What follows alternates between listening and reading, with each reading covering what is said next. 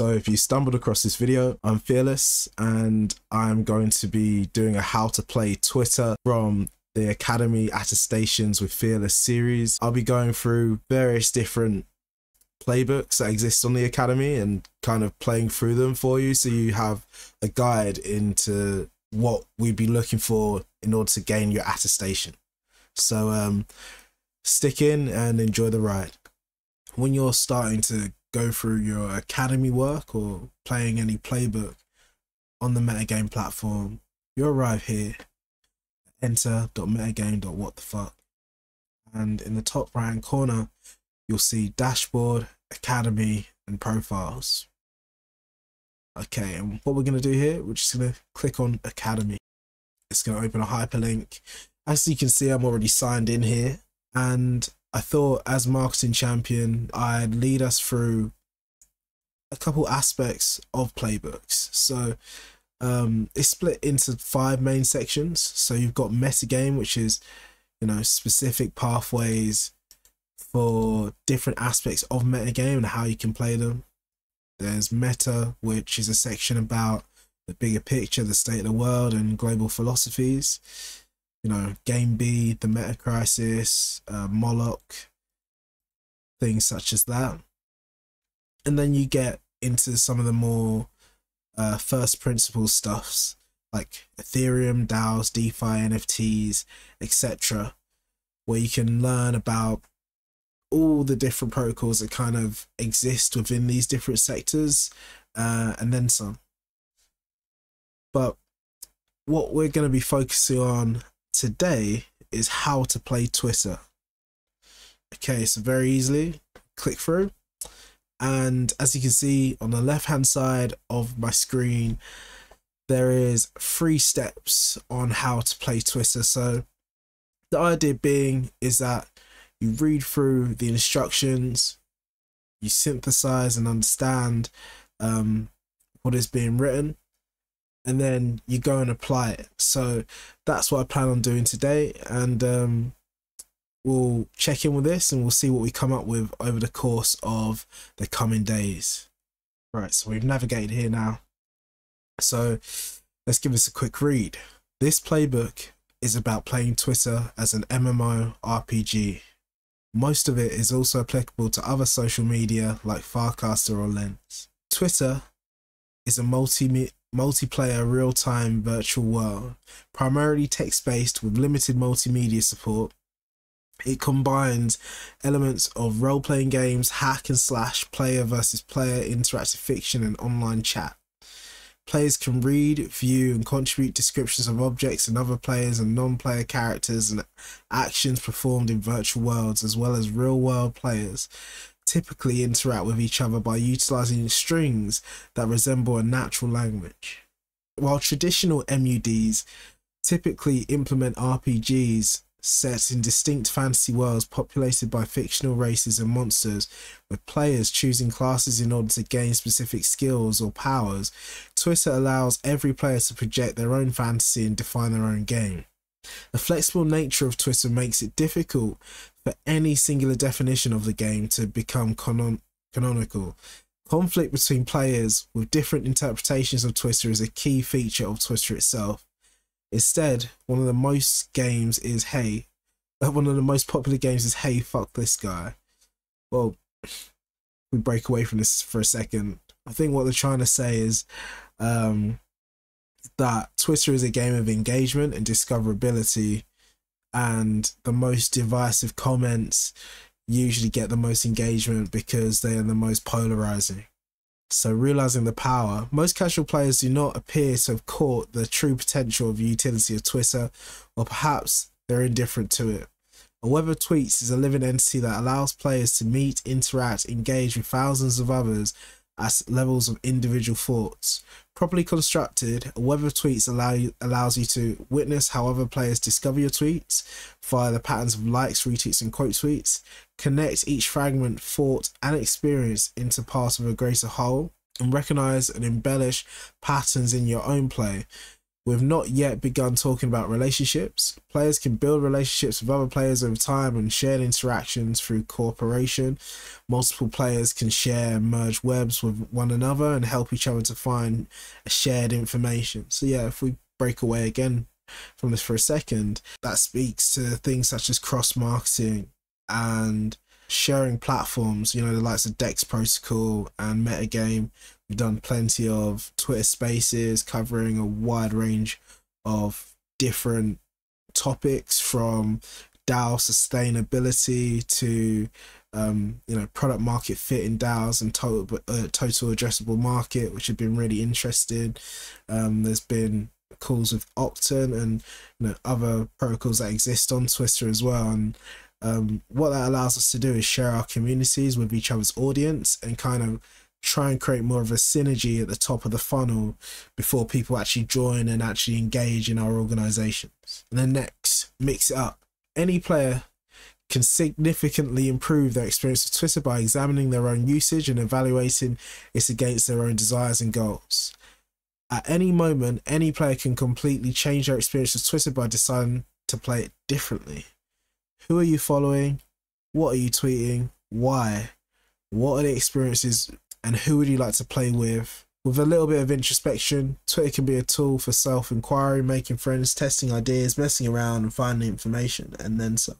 And like everything else, it's just a game. Have fun. Okay, that was cool.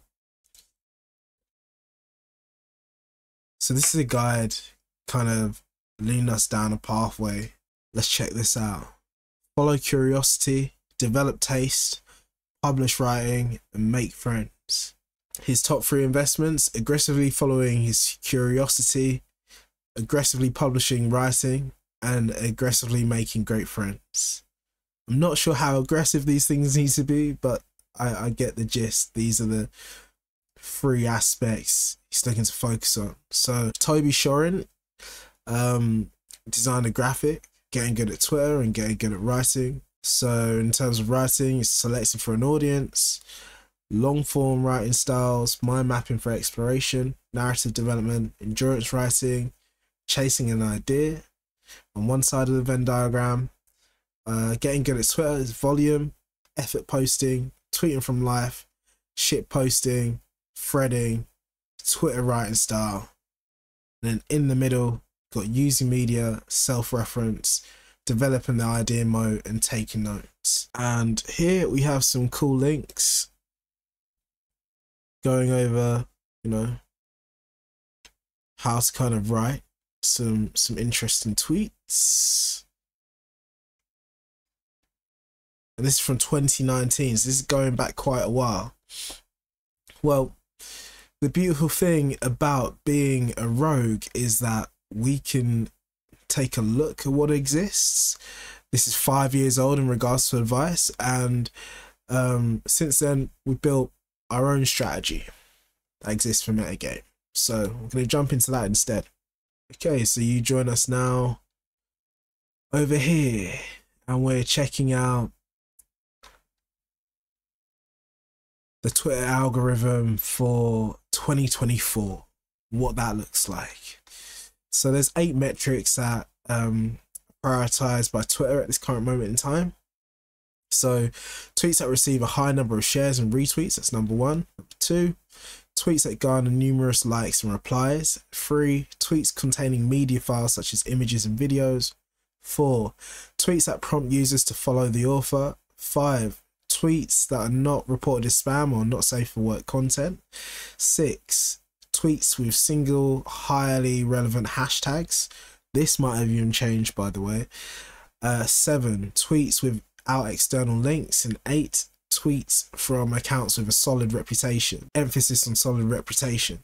So we're all aware that Twitter has an ad model, and that's how they, you know, they generate their income um, for the most part on their platform. So they're in the attention economy and they're selling ads and they have a subscription model via Twitter Plus, and then they also probably sell user data, right? From certain leaks that exist, um, from the Twitter code base, there is a multiplying effect for certain interactions on posts themselves. So there's a 30x multiplier for likes, 20x for tweets, one for reply and one for comments that you can see there. So kind of want to push for retweets and likes for the most part, but likes are actually more important.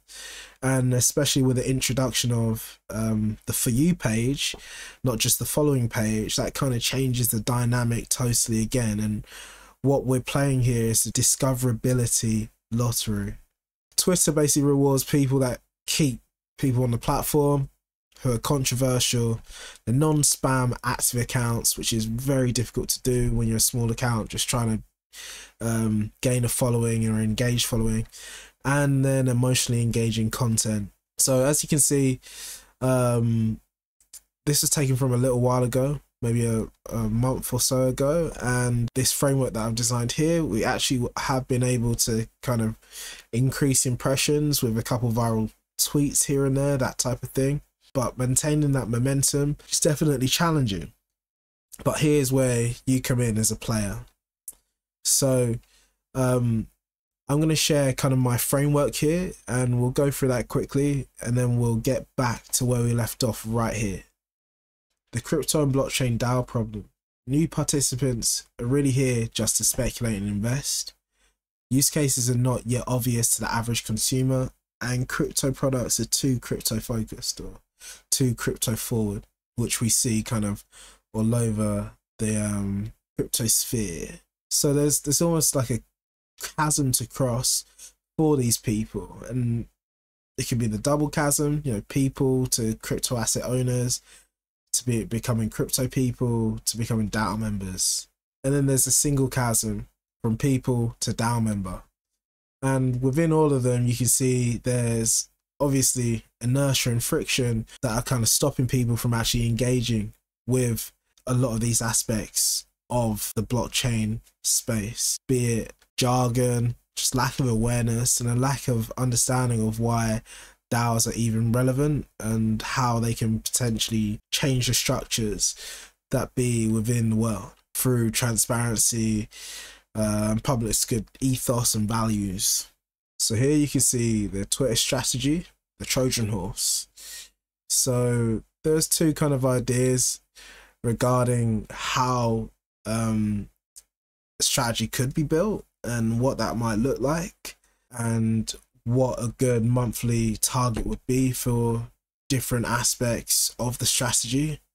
And that would be initially 36 community call posts, eight video posts, four product posts, and 12 threads and product posts. Whereas with a rebalance strategy, um, the idea was to push more for video posts, threads and product posts, and reactive threads. If we take Twitter as the product and we look at Twitter at the top of the funnel and looking at playing that engagement game and discoverability lottery, um, we have an idea based on the, the algorithm um, what we can and what we should try and push for. Given that, uh, I implemented some of these ideas and came up with you know, threads and tweets that got us large amounts of engagement. And I wrote some notes regarding, you know, what has actually worked best in regards to effort and um, outcomes. And to be honest, what I found is impressions rate is high in shit posting, reply going to tweets early before they become viral. That means targeting the right accounts to reply to, which is actually more important than replying quantity. Quantity is important to kind of increase the feel for potentially viral tweets, but at the same time, it kind of is really a numbers game engagement rate is really high in threads, but it wasn't higher than shit posting. And um, because of that um, effort to outcome ratio, the kind of way to push things is really to shit post and reply guy your way into engagement, which is not necessarily the easiest thing to do. So here's some guidelines. Reply from lists and not the for you section. For you aggregates viral posts. That means you've missed the wave. Create a list of accounts featuring high impression interactions. Tweet factual things on factual posts. Shit posts on shit posts. Very simple. And tweet on topic with a mutual with a healthy follower account and engage with their posts. Embrace the micro echo chamber. So I feel like those are really simple rules that we can kind of like get behind. Next, we'll get into kind of a simple framework for doing that since we're going to look at shit posting. Here you can see, you know, we'll be ridiculing game A to promote game B. You know, if we want to promote the the solution, we must first talk about the problem. We can do this in, in different ways. We can inspire, we can educate, or we can entertain. And because shit posting and reply going actually gets us the most engagement, we're going down the route of entertainment for the most part. With that in mind, I think it would be really cool to kind of pick at some narratives that exist and um, thematically kind of been looking at a lot of things which are more like solar punk network network state ish uh, and DAO focus. But some of the best ways to kind of break the mold of these themes is to kind of tweet about problems that exist across all three sectors. So we're not going to niche down we're going to focus on a particular problem and how we can kind of spin it to be focused on what we're trying to do, which is ridicule game A, so that we can gain engagement and discoverability and promote game B. Here's five C's that we can kind of utilize as a framework for what I'm looking to produce culture war, curation, viral content, creation, bespoke content, conversion, and then community. So that kind of takes us down the funnel I'd be looking to to channel when uh, looking to play Twitter. So in regards to the culture war, let's maybe think and have a look at Twitter and um, decide, you know, what is of interest at the moment and what can we really talk about. Create some bespoke content around that. Previously, I've been doing a lot of curation, like taking videos from TikTok and posting them, which has had mixed success. Um, but we haven't done much bespoke content creation, and I think that'd be fun to see if we can get any form of conversion in regards to impressions and uh, increase our Twitter following. All right, so we'll get into that next. All right, so here we are on the Metagame Twitter page. All good. So let's have a look. Let's check some things out. What, what do we want to do? I think a good place to start when trying to figure out what's trending go on your homepage and just give it a scroll. Have a look at what people are, are engaging with at the moment. I think there's a lot going on with Elon Musk. Let's check him out, see what he's saying.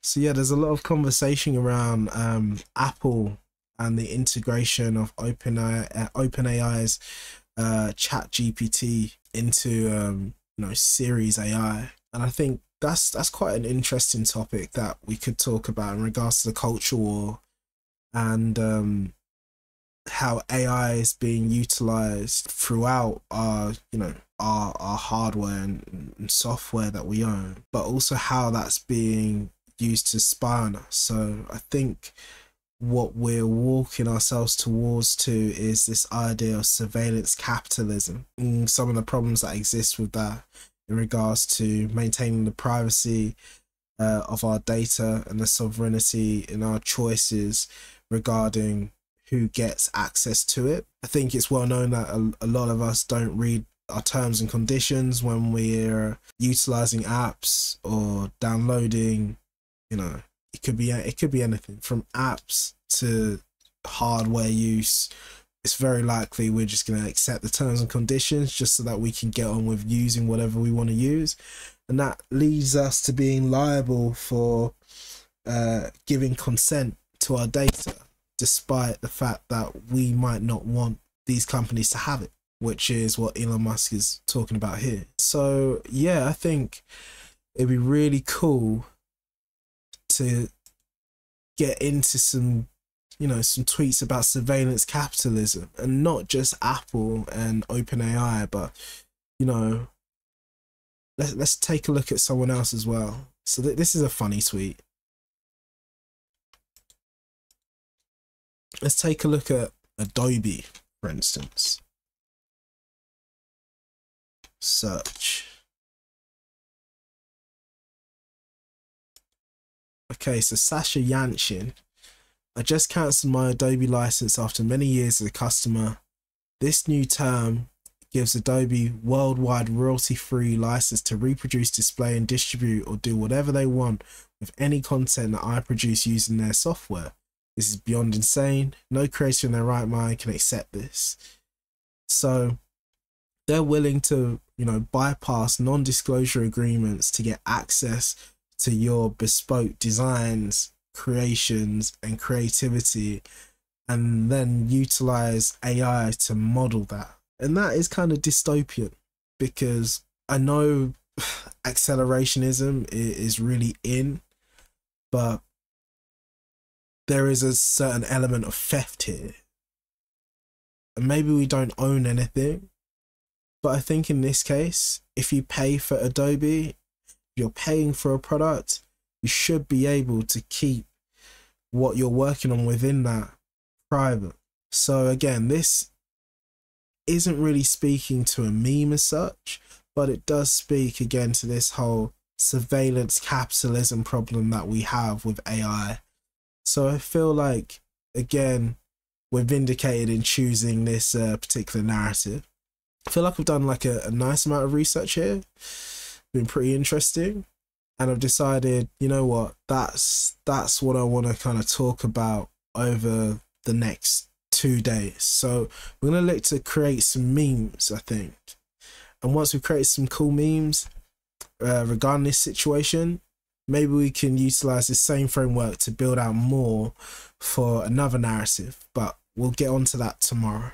All right, so we find ourselves here on Imgflip and we're checking out some of the meme templates.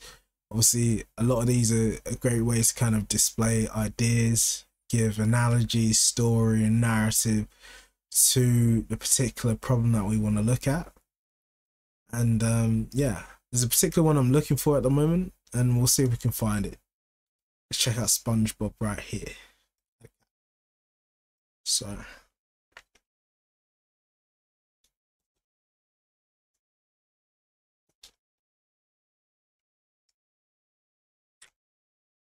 And of course, always good to check uh, spelling for all my uh, dyslexic people out there.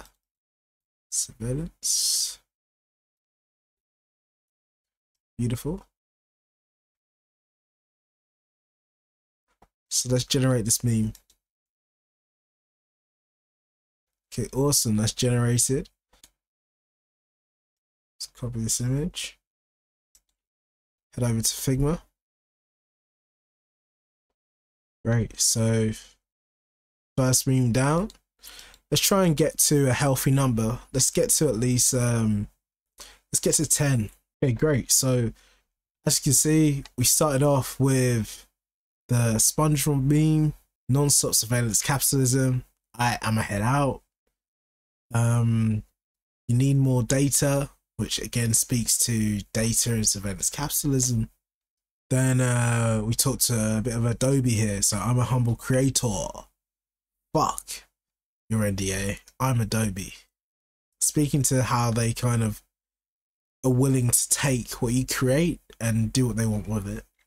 And then explaining why products shouldn't steal our data and prioritize decentralization which is how we kind of look to the mass market or the general public when we talk about these tenets of Web3 philosophy, values, and ethos. They think we're mad, but they consistently see evidence as to why it could be important. So I think this is a cool meme to kind of illustrate that. And then uh, obviously Adobe, you take the mask off, surveillance capitalists.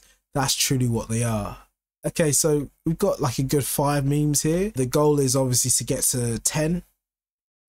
And um, yeah, we're going to try and get to 10. So now we have an OpenAI surveillance capitalist meme ready for deployment. And then that leaves us in a position where we have just four more. So I'm gonna go create four more and I'll check in back with you before I then deploy these memes. Okay, so we're back and I've created just over 10 memes. Let's see.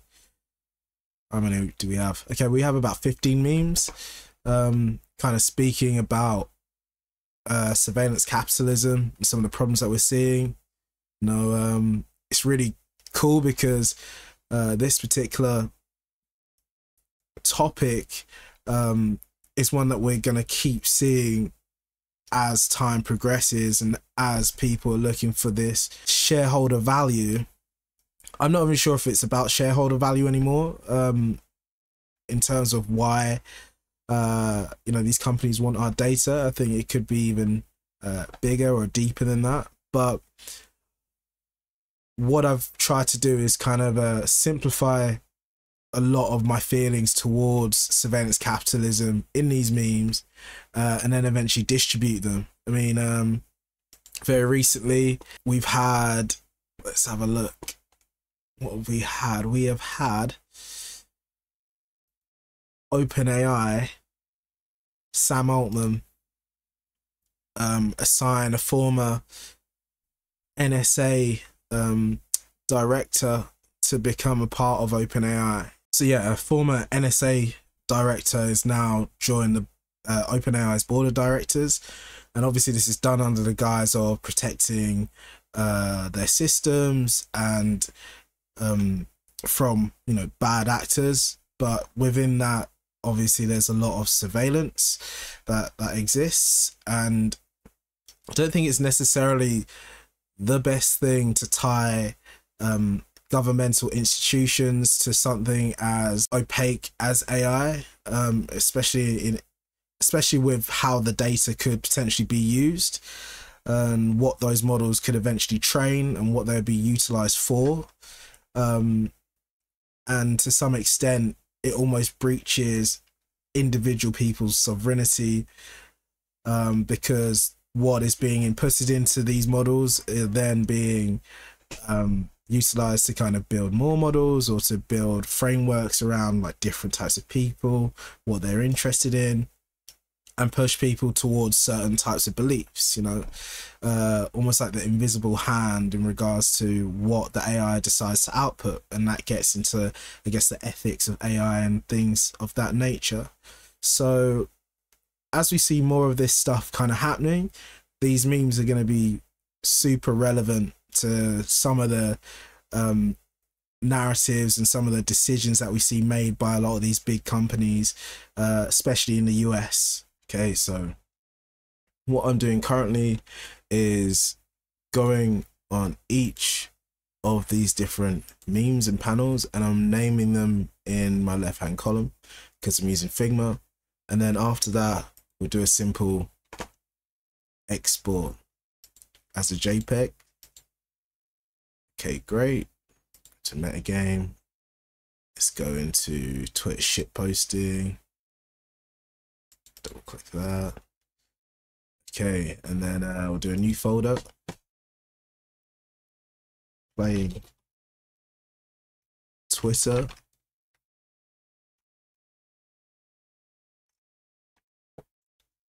Let's open that up. Save here and I'll repeat that for the rest of the memes and then we'll actually start deploying them across social media and we'll see what type of results we get. Okay, great. So now that we have a bunch of our memes saved under various different names that I can um I can personally understand, how I've kind of gone about that is I've taken pro probably the main theme of each meme and the character that is placed in the meme. Uh, I've put them together and that's how I've kind of come up with some of the names. So the like the meme with Drake, for instance, Drake, Data, Fiend, um, SpongeBob, Sponge, Spy, Shareholder Value. It's acronym, and SD is standard deviation, data focus, standard deviation, art focus. Um, and that's that's kind of my modality of thinking for for the naming convention of these memes and that way that helps me to kind of organize um myself around which ones to deploy based on yeah ba- based on the tweets that we kind of see and interact with. So if we go onto twitter quickly check this out? So recently the eu have been thinking about upload moderation which means an end-to-end to encryption. Uh again um one of the web3 like principles that we think uh, are necessary to kind of stop some of this surveillance capitalism and oversight from government is um, the upholding of privacy um, in regards to these matters. So I've dropped a uh, non-stop surveillance capitalism SpongeBob meme. I I'm a head out um, meme. I don't think it has the best fit, but I'm trying to deal with what I have and kind of play more of a numbers game. So we're gonna start deploying a lot of these over the the coming days, and we'll see kind of how they how they work out.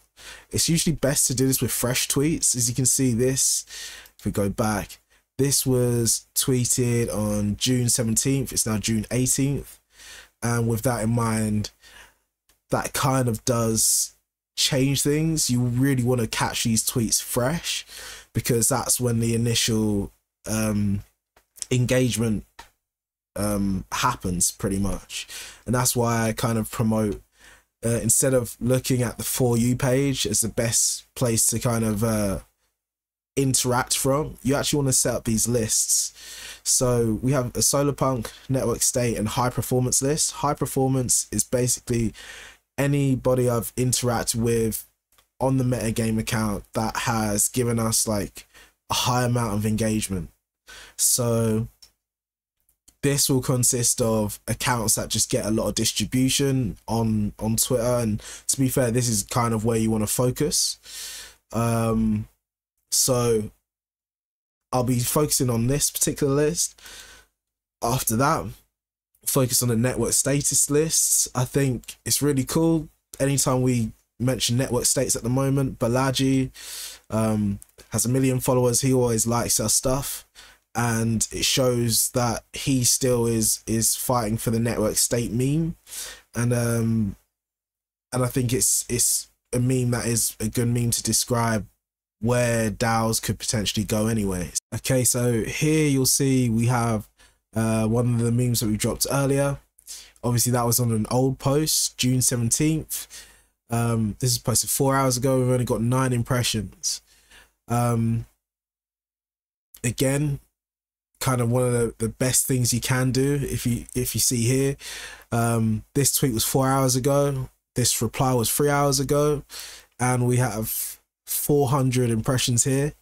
Um, the beauty of that is just timing timing obviously matters in regards to memes and how soon um, the meme connects with kind of that discoverability lottery. So, although these memes are uh, great, when you're thinking about how to play Twitter, you also need to consider timing and relevance in regards to when you drop your memes and the general discourse that is going around. Um, that in mind, that's a, it gives us a great takeaway on how to play Twitter in the future and looking at the feedback loop and tightening that up so that we can deploy memes which are more relevant at their point in time rather than building a litany of memes um, rather than making a bunch of memes for one particular narrative. So i think there's two kind of paths here that that stick out to me is you can make one memes on the go and then categorize those memes that you've um, you've created after the fact, or you can take a look at narratives as a whole, break them down, and create memes surrounding those narratives and deploy them as you choose. I think both are two really interesting strategies and both give an idea on how to play Twitter. And if I was doing this playbook, um, I'd produce memes, deploy them, test them, come back with the evidence in a document and send that document into the playbooks protocol. Let's have a look.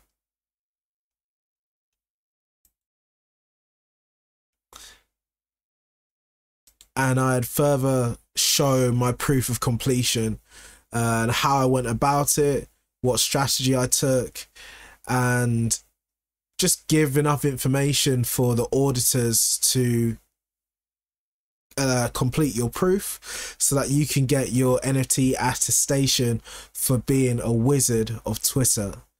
And it doesn't necessarily have to take you um, a couple of days to, to create this type of stuff. This is something that can be done over the course of a day, two days, three days, in regards to how you want to play Twitter itself. Um, I'm just simply giving an example of how I might go about it, and feel free to go about it with your own personal strategy or the strategy that has been um, laid out for you here in the playbooks academy on how to play Twitter. So that'll be me done. Don't forget to like, share, and subscribe to Meta Media on YouTube. I'm going to be doing more of a series in regards to how to play playbooks or how to interact with the Academy so that people have a point of reference for how to interact with our protocols and it should all be pretty interesting so thanks for your time and uh, i'm sure we'll check in later